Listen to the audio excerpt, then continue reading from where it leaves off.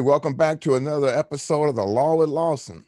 Now, now, you know, normally in the control room is Eric, but today we got Melissa back there running the boards for us.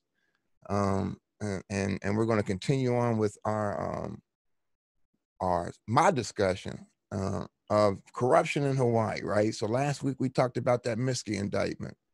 And and this week um um you know, was out in the papers. Uh, Civil Beat did an article, and I think it may have been another news that the feds are back in town. What I mean by that, feds have never really left town, right? Uh, uh, our local uh, U.S. Attorney's Office, Kenji Price, uh, is our U.S. Attorney here in Hawaii, indicted Miske and his little crew, uh, Miske Enterprises, right, under a RICO conspiracy last week. But it was Michael Wheat, who was from San Diego. I call uh, and, and, his assistant U.S. attorneys, along with the FBI from California, that came in that did the indictment with Louis uh, and Catherine Kealoha. And now remember that indictment has spun into all kind of investigations. Keith Kaneshiro uh, is under investigation. Uh, the uh, city uh, attorney, attorney for the city, Donna Leong, right, got a target letter under investigation. Their um, prosecutor, uh, Chad Sapolu, I think is how you pronounce his name, uh, who's been on leave, pay leave, along with Keith and Donna. Uh, we've been paying them um, ever since they received their target letters and have not been uh, actively working their jobs uh, because they're under investigation. And so, what does it mean for the feds to come back from Michael Wheat? I call them the Avengers because you know when I was when I went down and watched that Kealoha trial, and I sat through every day of it. And um, so so you know, Michael Wheat, I can't I, mean, I can't remember the names, but I gave them each like like Michael Wheat is like Captain America, right? And then they had this one guy, he did the closing argument. And he and so remember it was the prosecution against five defense lawyers. And I'm gonna talk a little bit about the Kealoha case in a second. But it was like five, um, actually I'm talking about it now, but we're gonna get into more of, of all this corruption going on in Hawaii and how it could relate to this Kealoha case. But anyway, so yeah, in closing arguments, you had you know the, the, U.S. Attorney's Office, Captain Wheat and his Avengers going against five defense lawyers, and in in the closing arguments, man, um, I can I, I do not remember the name of the assistant U.S. Attorney who was there uh, uh, helping Captain Wheat and his team, but he, he was like the Hulk. You ever see uh, any of the Avengers when they when they tell Hulk to go and just smash smash Hulk, right? He was smashing them. So anyway. So they're back in town. So what does that mean? Keep in mind, you got Miske got indicted, and his enterprise got indicted uh, last week or two weeks ago. And then this past week, um, last week, obviously, um, it's reported that Captain Wheat and his Avengers are back in town, right? And so, what does that mean for corruption in Hawaii? And hopefully, uh, like I said, um, they get to the bottom of all this corrupt crap that's been going on for years. And you know, I said this last week, man. You know, and them couldn't exist had it not been uh, for people in high ranking places. You don't, you know, you you don't do some of the things they're accused of doing. And we're going to talk a little bit about this uh, next week because I'm going to continue on with and bring you an update on, you know, some of the allegations in the Miske case. Uh, we're going to talk a little bit about the death penalty. Uh, you know, how does that work? Uh, and should it be allowed to work here in Hawaii, even though it's the federal government bringing the death penalty? Hawaii's outlawed the death penalty uh, since 1957. So anyway, let's get back to it. And so, you know, um, again, man, this goes back uh, to like two to the mid 2000s, and I'm gonna t- I'm gonna bring you a little bit up to date. You know, re- give you a little refresher course in the Kealoha corruption trial, and then how that kind of spawned off into some of these other things. Uh, to kind of give you an indication on why it is that that uh, you're going. I believe you're going to be seeing more indictments against Keith Kaneshiro, maybe others, um, and we'll get to that. So you know, they only give me a half hour here um, on on Think Tech. They said so you got to get it in, Ken, half hour. Um, and that's you know, for me, y'all know I like to, to, to talk and give it to you raw. So I'm gonna feed this law to you raw. And so let's go on to the next slide, right? So so here's what happens, right? And I, I don't some you know I watch uh, some of these cable news shows, and there's been this commercial with Tom Selleck. Remember, Tom used to play Magnum PI here in Hawaii, but he's doing these commercials for uh, reverse mortgages. I didn't know what a reverse mortgage was, so I got involved in this Kealoha case. But real quick, because they tell me I only have a few minutes, so so real quick. Here's how this starts. Uh, in 2009, Kat Kealoha, uh, and obviously Louis, Louis Kealoha was married. Louis became the chief of police, which is in, you know, we'll talk about that in future shows too. You know, how does he, how did he jump from being a police captain all the way to the chief of police? And at the same time, Catherine is working for the city and county of Honolulu, right? And the environmental protection part of, of right, she had to sign off on all this real stuff. Um, right? And I think she got that appointment through Mufi, who, who wants to be the mayor again. But the, uh, all right, so let me let me stay on point. Y'all gonna get me distracted. So much corruption, and so anyway, so people kind of question that, but that's not for this show. Like, how did Louis become? You know, what was was there uh, uh what they call a quid pro quo? Y'all heard that, right? This for that. Kat becomes this environmental uh, uh, protection head of that that department. Um, where she has to sign off on, on all these places that the rail is going to go that they have been uh, uh, they meet whatever uh, state requirements they are for the rail to be built in these particular areas. And at the same time, Louis gets to become chief of police. So you know that again. So at that point, let's go to the next slide, um, if we can. Well, and don't pay attention to that slide. I went too fast. But anyway, leave it leave it up there, Melissa. So so what happens though is is that uh, Gerard Puana, who is uh, Catherine's uncle, um, had an apartment, had, had a condo that where his first son was born. He, over the years, he lost the condo, and he was helping his elderly mother and father out. Um, uh, in the in the early in the late 90s and early 2000s so he's living at home with mom. And at some point uh, the condo was up for sale. Gerard's father passed away so now it's just gerard at home taking care of his his his, his, his mother. We call her grandma Puana, uh, as catherine's grandmother. Uh, and again gerard is her uncle. And so gerard sees that the uh, condo where his first son was was born at uh, is up for sale he goes to to and tells Cat, you know, I saw that the um, condo's up for sale. You know, I really would like to purchase it, but I just can't afford it. So Cat comes up with this idea, and she goes to to Grandma Puana and says, "Look, you know, I know how Gerard can get that apartment. I mean, that condo. You can take out a mortgage on your house, and we can purchase the condo with that." And, and grandma's like, no, I'm not taking out a mortgage on the house. I promised my husband, your grandfather, Kat, that whenever I pass, uh, you know, the, the, the family house will be uh, sold and there will be an, enough for all of our children uh, to have um, uh, from, from our, you know, our will to take away and, and have a better life. So I'm not going to put any mortgage on the condo. So that doesn't deter Cat. And if you, you know, so Cat's undeterred. So next thing she know, you know, she comes back with this reverse mortgage broker to grandma. And she says, look, if you take out this reverse mortgage, Louis and I, we can buy Gerard his condo. Louis and I need to redo our house. You know, he's the chief of police now.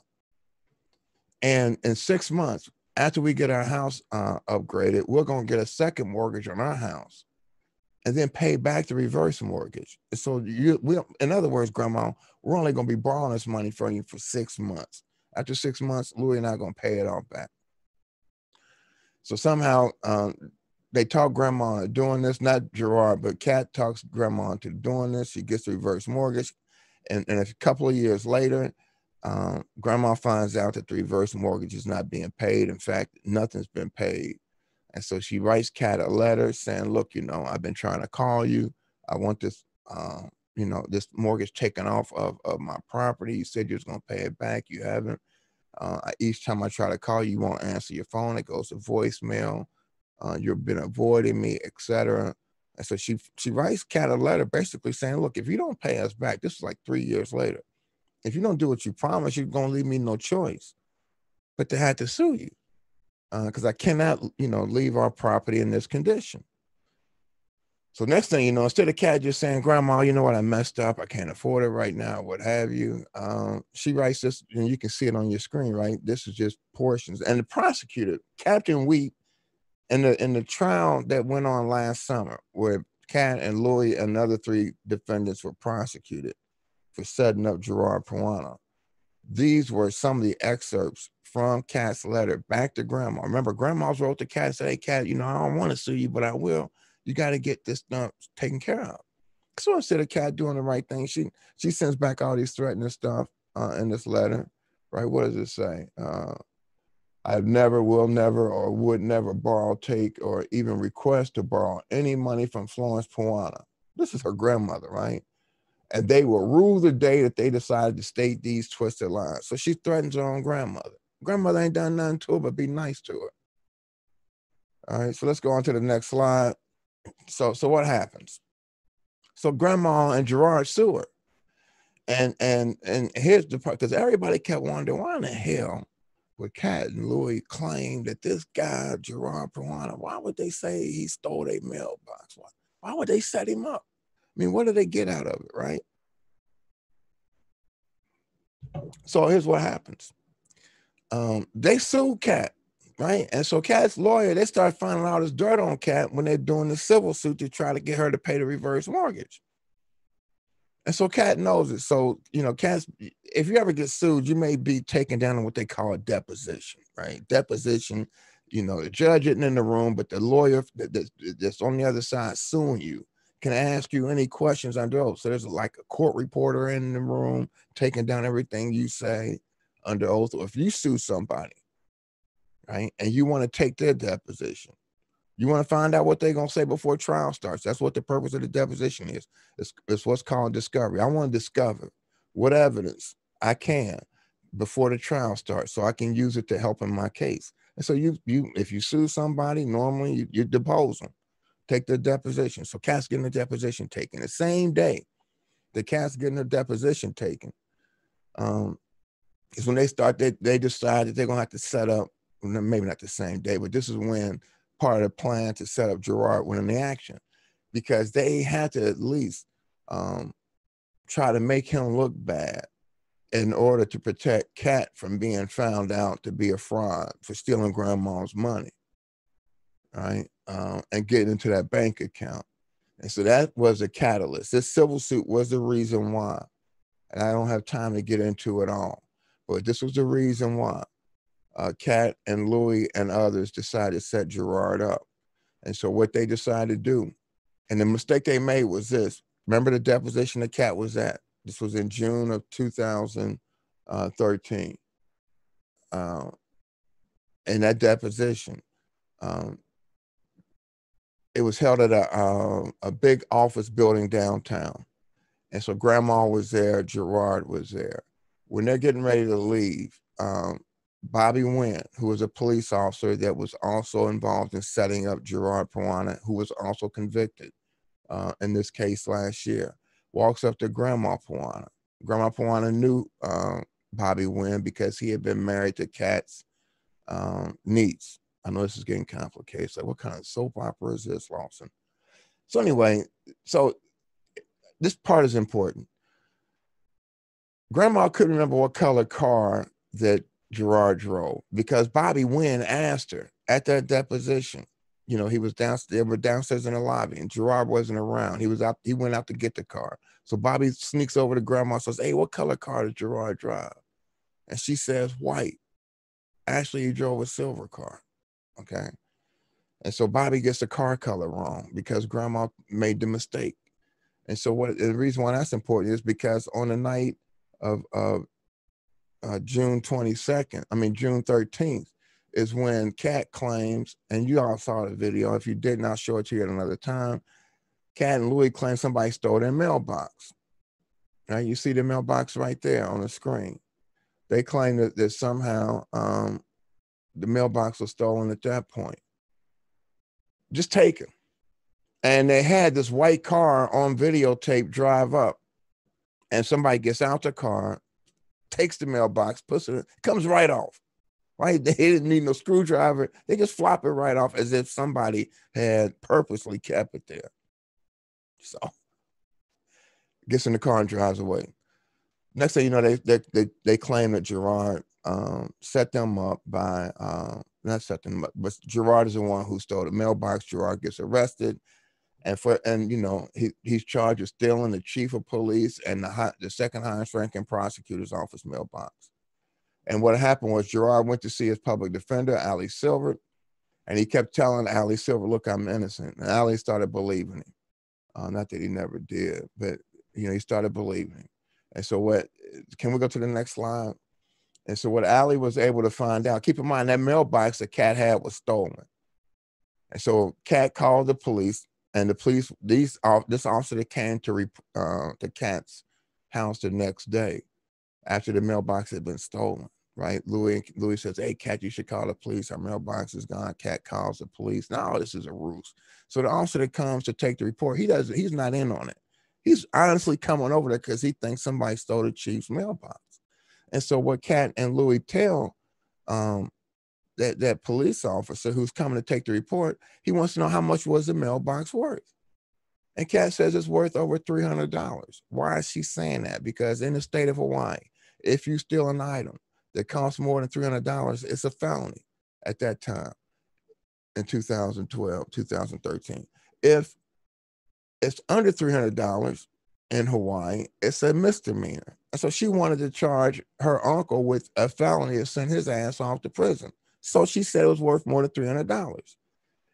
And so um, what, what Ali did was he kept trying to figure out what type of mailbox it was. So he used Google Maps. And if you all have never used Google Maps before, you can go back into Google Maps and you can go back years and you can actually see your own property on there. And so um, Ali went back a few years to see what kind of mailbox it was, got pictures of it off of Google's maps, also collected pictures from family gatherings. You know, he asked Gerard, were you guys ever over at the house? Yeah. If you have any pictures, you know, being taken outside? Yeah. And then some of those pictures was the mailbox that Cat claimed was stolen. And so Ali contacted the manufacturer of the mailbox and said, you know, uh, I want to get a, a copy of this mailbox. How much is it worth? or duplicate of it. How much is it worth? And it was worth way less than three hundred dollars, or like a hundred some dollars. Right. And so what Ali found out was that the that the mailbox that Cat reported stolen it was worth more than three hundred dollars. It's not the same mailbox she had on her property. And that's when they, the Fed started really started looking at this anyway. Uh, it went to trial on December 14th, it being what? The charges against Gerard Puana for stealing the mailbox went to federal trial uh, there was a mistrial declared because Louis Kealoha got on the stand and intentionally created a mistrial. So I'm saying all that to say this. I'm trying to speed up. It's a whole lot more to this, but I'm kind of just giving you guys a refresher course. And if you liked, you know, um, when you see this video up on YouTube, put in the comments column, can you please give us more detail in the upcoming video? And I'll do it. But now back to this. And so um, there's a mistrial declared in December 2014 when Louis gets on the stand and, and intentionally throws a case. Why? Because he didn't want Ali Silver, who had already uncovered all this crime that the Kealohas had been involved in. He didn't want Ali Silver to cross-examine Cat Kealoha. So Louis was like the first witness or second witness, he, but he was before Cat. And so he caused a mistrial to save Cat from being put to cross-examination. Next thing you know, Ali took all this, uh, you know, the public defender took all the evidence to the feds and said, look, this was part of my defense. Here's why I think what they did was illegal. The feds looked at it and said, gee, man, you're talking about the chief of police and this high ranking prosecutor said, and that's when all this started unraveling. Okay, so now uh, go ahead, Melissa, and let's click on to the next one. Oh yeah, so you know, so even after they started getting investigated, See, what the Kealoha was known for doing was threatening people. And so here, this is a picture of Chuck Totto. Chuck, Chuck was the head of the Ethics Commission. He was investigating the Kealohas. And what was he investigating? The surveillance videos and the cameras and all the surveillance equipment that was on Cat and Louis Kealoha's house was put there illegally at the request of Louis. In other words, it was unethical for him to have the police department use official Hawaii equipment to to put all this surveillance stuff at his house, right? Um, and so they started investigating that and other things. And so what did Cat and them do? They sued the cat. They sued uh, the ethics commission Now, what did Kirk Caldwell, the mayor, mayor, do? He didn't back the ethics commissioner, right? He appointed new people to the ethics commission They, that got rid of Chuck Totto and his assistant. And they started investigating Chuck at the request of the K right? Which, you know, kind of raises out like, why, why are you protecting them? You know, isn't part of the Ethics Commission's uh, job is to investigate, un, you know, ethical violations? And so, I mean, yeah, that was messed up. So anyway, um, and and and let's go ahead and skip through. Let's go to the next one, Melissa. Next, and so that's Grandma. Her testimony ended up getting the Kealohas convicted. Um, let's go to the next one. They were all okay. So now four out of the five defendants was found guilty. Uh, the only one that wasn't found guilty, and if you go back and look at my tweets at Real Ken Lawson uh, on Twitter, uh, you'll see back even back then I was predicting that Gordon Shiraishi he was the one that would be found not guilty uh, because there was really no evidence on him. But the other four, Kat Kealoha, Louis Kealoha, uh, Lieutenant Derek Hahn or ex-Lieutenant Derek Hahn, and Officer Bobby Nguyen. All four of them were convicted for conspiring to violate the civil rights of Gerard Puana. They're still awaiting sentence. So now while all that's going on, let's go to the next one. And and that's just a slide showing you how much how much it costs just to prosecute them.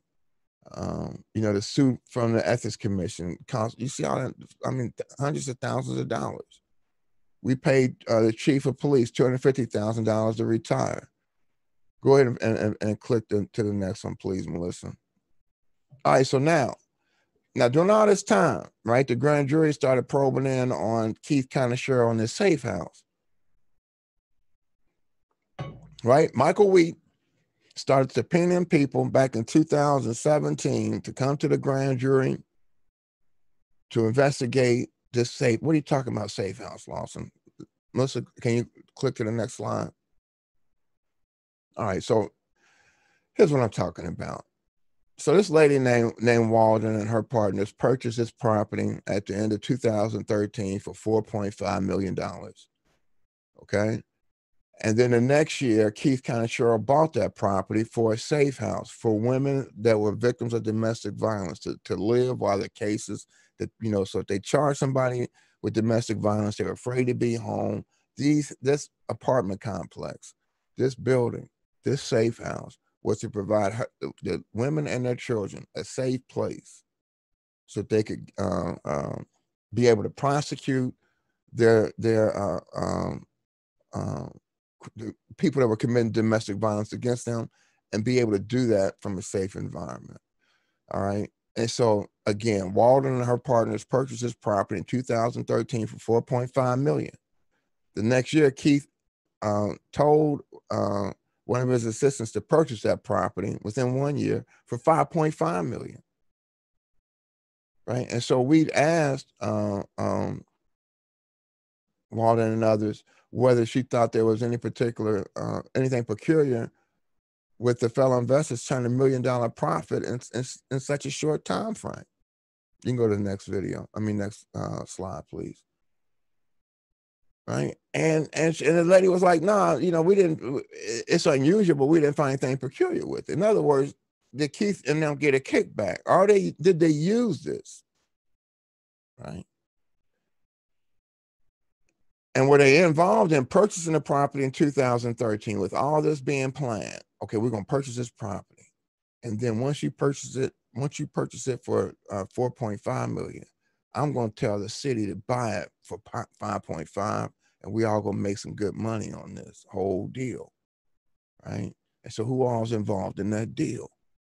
And so, you know, again, that's one thing that's being investigated by, by uh, Captain Michael Wheat or U.S. Attorney Michael Wheat and his, his crew. All right, let's go to the, uh, well, no, stay here. So Honolulu's lead attorney is also a possible uh, target. And that's, that's um, Donna Leong right? Donna Leong is the one. Um, go ahead and click to, to the next slide for me, Melissa. Donna Leong is the one who helped Louis Kealoha get his two hundred fifty thousand dollar buyout. And with Civil Civil Beat, our local one of our local news agencies here, what they did was they sued the city and county of Honolulu to un, un, undo the records to show why was this deal with the police commission. The police commission approved that Louis Kealoha get $250,000. This is after this man had been indicted. I mean, this guy, had, he was, look, the chief of police was under a federal indictment at this time for conspiring to set up Gerard Puana. Right? At that same time, he was underneath that indictment. They decide what they're going to do is, is, is give him 250,000. Man, I ain't never heard of no shit, no stuff like that before. You're to pay this man $250,000 as a buyout right? And so, and do it in secret.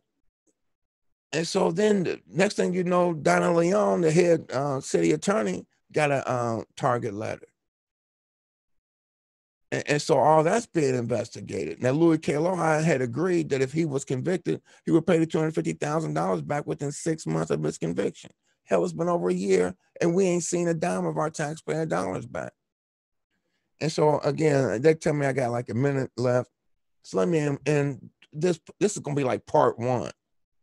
Cause I'm gonna bring you a Miske update next week too, but I want to continue this uh, because there's a lot of things that that that, that you have to be on the uh, lookout for when we talk about this corruption going on in City Hall and here in Honolulu. Because if you think that Miske and them existed for all these years, committing all these loud uh, crimes and and right, out of thin air and what nobody help them. Hey man, I got a bridge I want to sell you, right? We need to figure out how deep this is going. And, and so again, we'll talk a little bit more about it next week. But uh, you know, you still got Donna Leong, you still got um, uh, this this sale of this building that's going on right? You got the rail being investigated. Remember, the Fed started subpoenaing these about rail. And so we're going to talk a little bit more about what could Michael Wheat and, and his Avengers be doing back here? And also, how does that relate to the Miske indictment? Is there evidence from some of these individuals in this Miske criminal enterprise that can also link back to some of our local politicians? All right, so hey, look, I told Jay Fidel, Jay said, hey man, you want to come and do a law show? The law and law. So I said, yeah, Jay, if you allow me to feed it to him raw. I'll give him the law if you allow me to feed it to him raw. He said, Well, come on with it. And so I'll be back next week. Melissa and I will be bringing you the law raw. Um, but until then, uh, uh, this is uh, uh Professor Lawson saying, uh, have a safe week, wear your mask, wash your hands, and I'll see you next Tuesday.